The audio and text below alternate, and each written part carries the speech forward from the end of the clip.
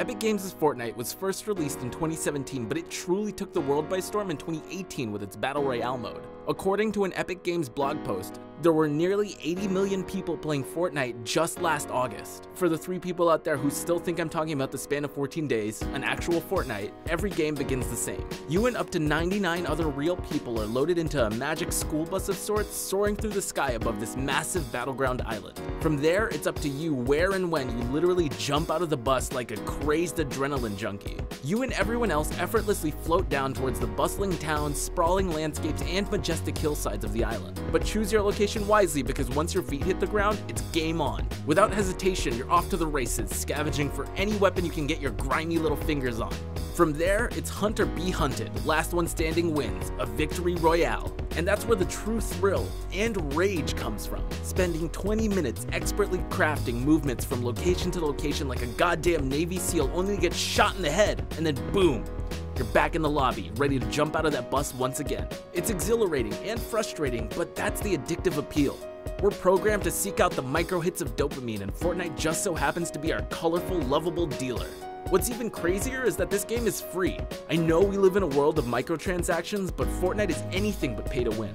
And this free game is estimated to make $2 billion in 2018 alone. Considering all the money there is to be made, it's only a matter of time before Hollywood gets its grip on this franchise and turns it into a video game movie. Ugh. But before they inevitably ruin it, like they did with nearly every other video game turned movie before, the countdown is here to run through all the ways to make this movie right. And before we get started, make sure to like this video and subscribe. Also hit that little bell so you know whenever we upload. It's super helpful and helps us keep making videos. Thanks. Number 5. The Plot.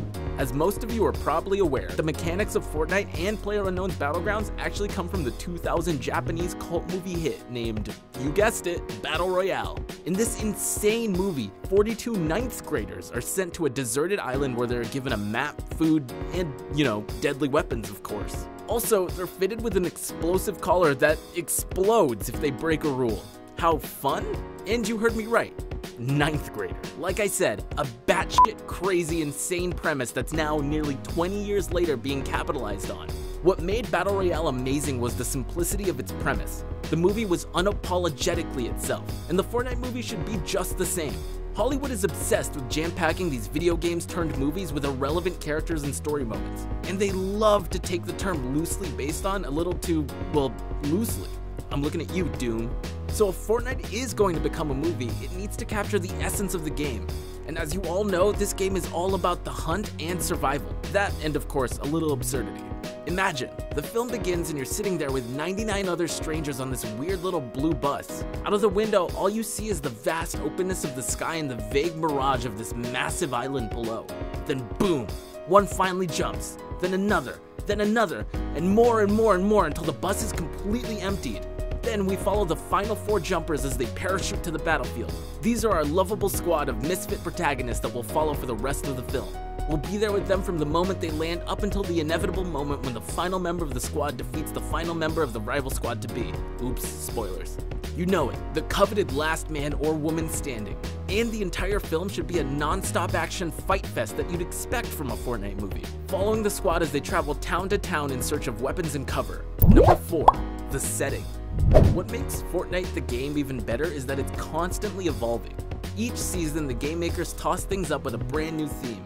Within each theme, there are new skins, weapons, items, modes, and best of all, map changes. This is what keeps Fortnite exciting, like this insane Viking outpost or the massive city of Paradise Palms. The map is never dull and will always have new thematic biomes being added each season. And what's especially great about the map is that while enormous, every area is accessible yet wholly unique.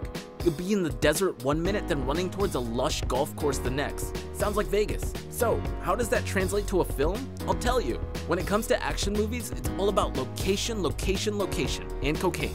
But mostly, it's these amazing set pieces that keep things moving. Fast and the Furious, Mission Impossible, all these action franchises rely on are dazzling structures and complex landscapes that they can throw their characters into.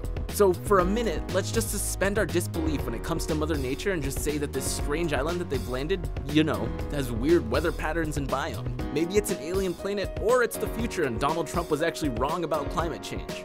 The Fortnite movie could have characters venturing from abandoned towns to deserts to forests and lakes all in real time. It would be insane. Number 3. Building. Okay, you've probably been asking yourself, why isn't he talking about one of the most crucial aspects of the game? Well, here I am, and although I admittedly still haven't figured out how to become the building master in Fortnite, I've seen some people become. I mean, look at these guys. They're freaking crazy. Like Bob the Builder on Adderall. Regardless, building will no doubt have to be a part of the Fortnite movie. I mean, it's what makes Fortnite Fortnite and not just some other Battle Royale game.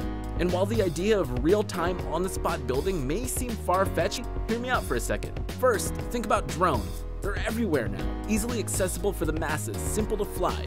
Hell, you can even set some drones on autofollow where they just follow you.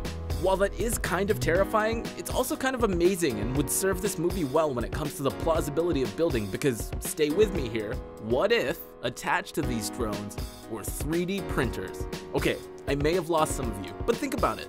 The movie could be set in the near future, and considering 3D printers already have the ability to print an entire house, it's actually kind of plausible, sort of.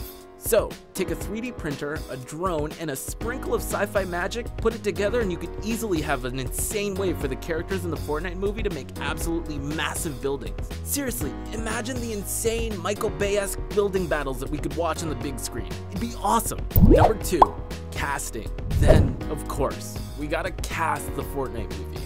We all know that this is a make or break step of not only video games turned movies, but just movies in general. A bad actor can kill a great film. I mean, don't get me wrong, there have been great casting choices for video game movies before, like early 2000s Angelina Jolie as Lara Croft, although I can't say the same for the actual movie. But there have also been quite a few more bad ones. I know you've tried to forget, but we're here to remind you of choices like Jake Gyllenhaal in Prince of Persia as a Persian prince. And don't forget, this isn't the PUBG movie, so if you want some hardcore testosterone driven movie, the Fortnite flick should definitely not be that.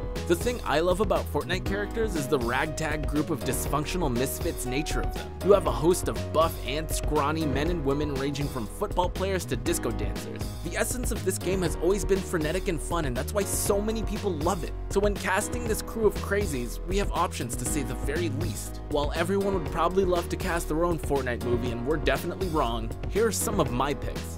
For the good guys, I could easily see John Cena in this film, especially given his comedic chops. And I'd love to give Alicia Vikander another shot after the not-so-great Tomb Raider release in 2018. It would be great to see any major movie stars elevated to a whole new level. The Rock, Charlize Theron, Jason Statham, Keanu Reeves, Karl Urban, Will Smith, Milla Jovovich, Tom Hardy, even Meryl Streep.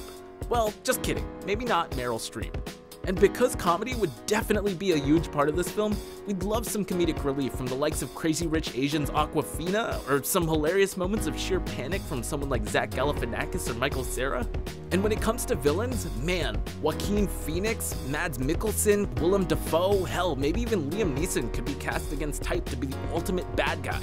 And if I was a casting director, the emotes would totally be a requirement during the audition process. Because let's be honest, it wouldn't be a Fortnite movie without them. Number 1. Weapons and Gear. Last and probably the most badass part of the film will arguably be the weapons and gear. While most war movies usually only have a small selection of weapons the soldiers can choose from, damn you, historical accuracy! This movie could include the largest range of weapons in any movie ever. In Fortnite, you have suppressed assault rifles, thermal scoped assault rifles, heavy assault rifles, burst assault rifles, regular assault rifles, miniguns, light machine guns, SMGs, compact SMGs, hand cannon, pistols, six shooters, shotgun, double barrel shotguns, heavy shotguns, tactical shotguns, heavy sniper rifles, bolt action sniper rifles, hunting rifles, semi-auto rifles, rocket launchers, grenade launchers, and the quad launcher. Woo! Wow, okay, you get it. The list goes on and on and on. But imagine, not only will the film's characters be stumbling upon this massive variance of weapons, but each one will have a completely unique weapon that's true to them.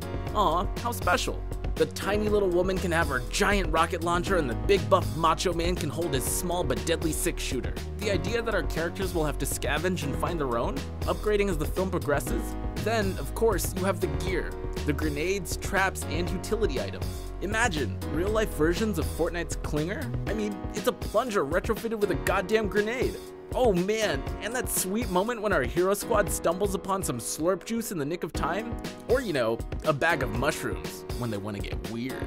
Also, not to mention having your badass crew drive around in an ATK or a quad crasher, and don't forget the shopping carts. Seriously, this Fortnite movie has so much potential for epic badass moments on the big screen. So there it is, the Countdown's Fortnite movie. Now go, Hollywood! Milk this cash cow for all it's worth! Thanks for watching Arcade Cloud. If you like what you saw, please be sure to share this video, subscribe to our channel, and, and if you have any ideas yourself on this Fortnite movie, leave them in the comments below.